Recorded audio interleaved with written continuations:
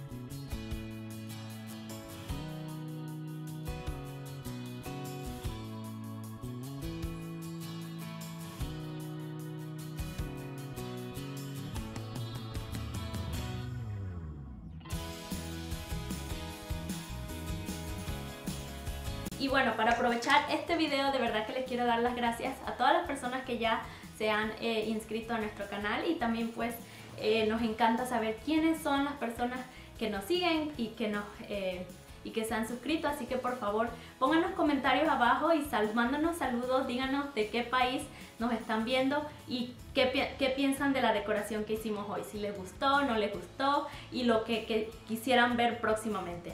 Saludos.